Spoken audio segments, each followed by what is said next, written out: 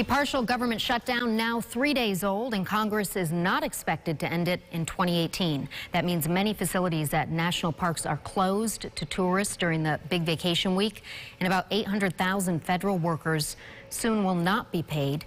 Democrats and Republicans are now trying to break the uh, debate over President Trump's border wall. Trump continued to take his case to Twitter, writing, quote, the only way to stop drugs, gangs, human trafficking, criminal elements, and much else from coming into our country is with a wall or barrier. We currently are only screening one out of five cars and trucks coming across our border.